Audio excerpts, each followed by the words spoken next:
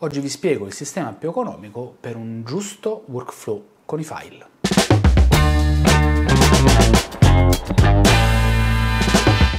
Salve a tutti amici e benvenuti in questo nuovo video ed oggi voglio parlare con voi ancora e ancora e ancora di backup organizzazione dei file. Questo perché è un argomento a cui tengo molto e eh, voglio, voglio, spiegarvi un, un processo, un workflow che tutti quanti possono utilizzare per avere un minimo di sicurezza quando si lavora con i file. Ma questo discorso va bene sia per i professionisti che anche per il semplice amatore che vuole conservare le proprie fotografie e non vuole perderle. Quindi oggi vediamo primo un sistema, probabilmente uno dei più economici, con cui possiamo creare una ridondanza nel nostro sistema di archiviazione dei file. Allora, diciamo che abbiamo bisogno di tre cose, tutte e tre uguali. Questo primo esempio si basa su un workflow lavorativo, quindi cosa significa? Che noi abbiamo dei file che ingestiamo, quindi che entrano all'interno del nostro computer, dei file di progetto che lavoriamo e dei file di esportato, ossia dei file che noi esporteremo e saranno nostri, considerati il nostro materiale finito. Ok, quindi basiamoci sull'utilizzo di questi tre punti. Avremo bisogno per, util- per avere un sistema sicuro di tre cose ben tre hard disk, due dei quali devono essere necessariamente uguali e uno invece può essere anche più piccolo. Ora, perché questa distinzione? Perché, perché due devono essere più grandi dell'altro? Beh, presto detto. Quello più piccolo, inteso come hard disk di lavoro, deve essere l'hard disk dove noi una volta che arriva la schedina da dover scaricare, la mettiamo nel computer e scarichiamo tutti i file su questo hard disk. Su questo stesso hard disk noi andremo a lavorare, quindi a creare dei file di progetto e successivamente naturalmente anche gli esportati. Ma qual è il sistema che dobbiamo utilizzare? Partiamo dal presupposto che questo primo hard disk, quello più piccolo, può essere anche il nostro hard disk del computer. Io considero tre memorie in generale, quindi la più piccola può essere tranquillamente quella del nostro computer. Quindi noi dobbiamo avere collegati al nostro computer l'hard disk numero 1 e numero 2, che chiameremo master e backup. Quando andiamo a fare il, l'ingest del nostro materiale, dobbiamo scaricarlo sul nostro computer, quindi sul nostro hard disk di sistema o l'hard disk dove decidiamo di lavorare, sull'hard disk master e sull'hard disk di backup. Fatto questo possiamo staccare hard disk master e backup e tenerli da parte. Cominciamo a lavorare ai nostri progetti sul nostro hard disk master, sul nostro hard disk di sistema o l'hard disk di lavoro. Mentre lavoriamo, eh, dipende poi da quanto tempo impieghiamo per la lavorazione, dobbiamo impostarci delle regole temporali. Ogni giorno o ogni due giorni dobbiamo prendere tutti i progetti e farne una copia sull'hard disk master e l'hard disk di backup. Se è un lavoro veloce, allora fatto questa operazione la faremo una sola volta. Se è un lavoro invece che facciamo impieghiamo molto più tempo per portarlo a compimento, a termine e ci lavoriamo tutti i giorni, è bene fare questa operazione ogni due giorni di lavoro. Quindi se lavoriamo due giorni su un determinato progetto, al secondo giorno facciamo una copia di tutto il materiale. In realtà questo numero, questi, il numero che io dico sono due giorni, sono un numero molto indicativo perché dipende tanto da quanto lavorate su un progetto.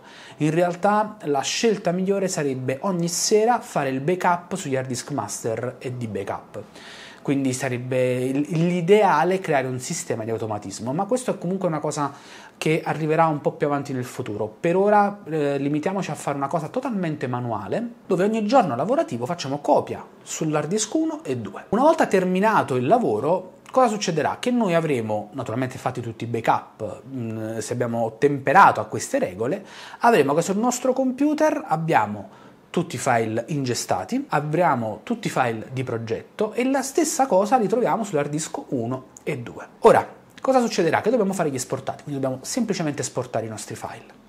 Li facciamo e naturalmente ne faremo anche di questi una copia sull'hard disk 1 e 2. A fine quindi lavorazione, noi avremo tre copie esattamente uguali del nostro lavoro. Quindi sull'hard disk di lavoro dove noi stiamo lavorando, che può essere il nostro hard disk del nostro computer, possiamo tranquillamente andare a cancellare, se non ci servono più, i file ingestati e i file di progetto, conservando unitamente, se dobbiamo utilizzarli o dobbiamo rivederli, dobbiamo farne altro utilizzo, i file esportati. Mantenendo però sugli altri due hard disk tutta la lavorazione. Così facendo noi abbiamo creato un sistema di backup un minimo ridondante, dove noi abbiamo comunque una copia dell'altro. E nel caso in cui uno di questi due hard disk, quindi o l'hard disk 1 o l'hard disk 2, venga meno per una qualsiasi motivazione, cade, si rompe, uno spike di un fulmine, qualsiasi sia, abbiamo comunque l'altra copia. E dico di più, questo è per quanto riguarda l'archiviazione, perché io vi ho detto che questi hard disk una volta fatta la copia vanno staccati dall'alimentazione, vanno staccati dal computer e quindi noi li abbiamo diciamo conservati in luogo sicuro, lontano da quelli che possano essere gli inconvenienti legati alla corrente elettrica, all'elettricità, al software, all'hardware del computer, perché li abbiamo fisicamente staccati. Nel caso mentre invece faccio un altro esempio, stiamo lavorando, quindi siamo ancora nella fase in cui sull'hard disk di lavoro abbiamo tutti i materiali, puta caso dovesse morire il nostro computer o il nostro hard disk di lavoro, noi abbiamo comunque copia backuppata sugli altri due hard disk. Quindi in questo modo noi avremo generato una catena ridondante con un'abbondanza di materiale, ma che ci aumenta la nostra affidabilità eh, del nostro processo lavorativo del triplo, perché noi abbiamo tre copie di tutto,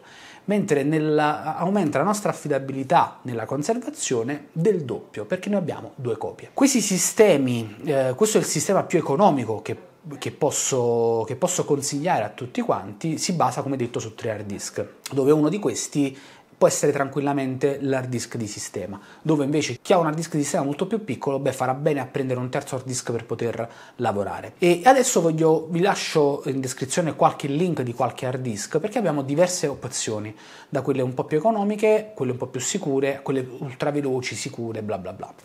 Noi in realtà abbiamo tre opzioni per avere questi hard disk. Abbiamo o degli SSD esterni che hanno un costo più elevato ma sono molto più efficienti per lavorare. Infatti io consiglio per lavorare sui file, quindi come hard disk di lavoro, se non è quello di sistema, prendere un SSD esterno. Dipende, la grandezza dipende tanto dal tipo di lavoro che fate, se siete fotografi è un conto, se siete videomaker ne è un altro. Mentre gli altri due hard disk, quelli che invece devono essere di backup, master e copia, devono essere un po' più cicciotti, un po' più grossi. Io quindi vi consiglio eh, di prendere sicuramente dei 4 tera almeno io non vado oltre il 4 tera, a me non piace avere degli hard disk di copia, di backup da, da magazzino. Se dovesse proprio succedere l'impensabile che le mie due copie di, di backup muoiano entrambe, non ho perso 8, 10, 12 tera di materiale, ma ho perso solo 4 tera di materiale.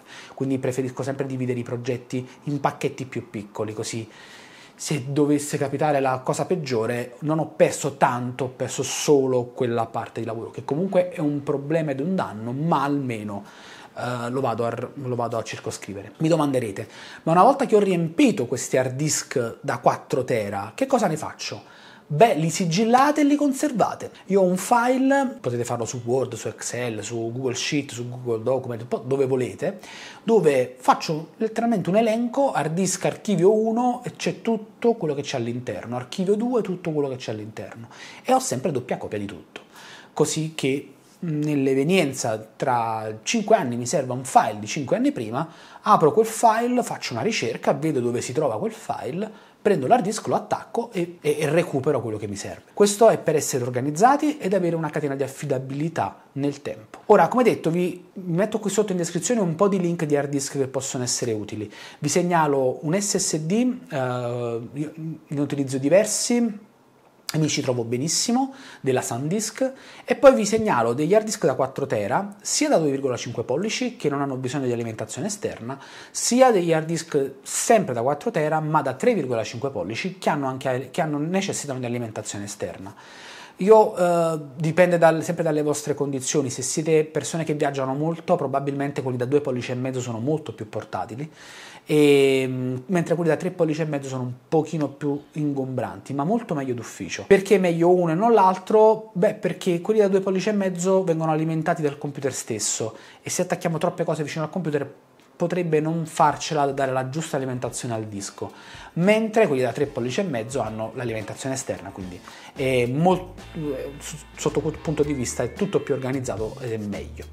Io insomma vi metto qui sotto in descrizione un po' di varianti che, uh, che potete sbirciare e dare un'occhiata. Insomma, siamo giunti alla fine di questo video dove vi ho spiegato quindi un workflow economico per la gestione dei file e dell'archiviazione. Spero che queste, queste tecniche, queste, questi consigli possano essere d'aiuto a qualcuno. Se sapete di qualche professionista o qualche amico che ha bisogno di questi consigli, beh, condividetegli questo video, così che potrà informarsi e poter adottare qualche sistema di archiviazione uh, un po' più sicuro per i propri file. Insomma, io vi ringrazio per la visione, vi ricordo di iscrivervi al canale se ancora non l'avete fatto per vedere tutti gli altri video che usciranno sull'argomento e di seguirmi su Instagram perché lì condivido un po' di informazioni in tempo reale con le stories. Insomma, cos'altro dirvi? Io vi ringrazio per la visione e noi ci vediamo prossimamente con un nuovo video.